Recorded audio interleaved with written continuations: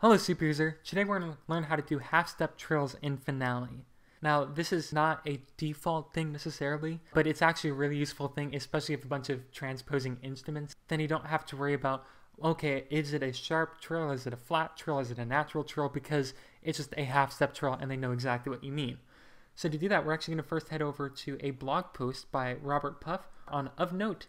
This is a blog I would highly recommend that you subscribe to because there's a lot of really cool finale tricks on here. But we're going to specifically go to this one to add the half step trill lines in finale.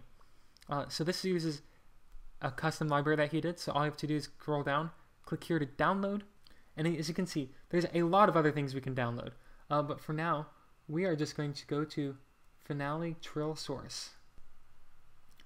Download it, open it up, so you can either just copy or paste these smart shapes into your project, or you can save it as a library so that way you don't have to ever worry about this file ever again. So to save it as a library, all you have to do is go up here to File, Save Library, and we're going to go to Smart Lines.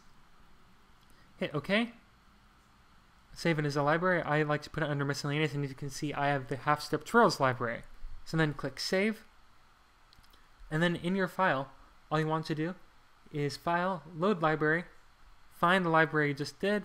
So for me, it'd be half step trills, hit open, and then you have it loaded up. How do you actually access them?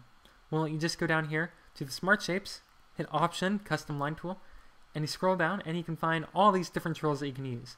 Half step trills, flat, natural, and sharp trills. So for half step trills, select it, and then just input it like you would any other smart shape. And if you want to change it, just hit option, click the little star thing, and then go to flats, select it, and then just draw it like you would any other smart shape. And so that's it. That's how you do half step trills in Finale. If you found this video at all helpful, make sure to like and subscribe so that way you can stay up to date with all the Finale tips and tricks.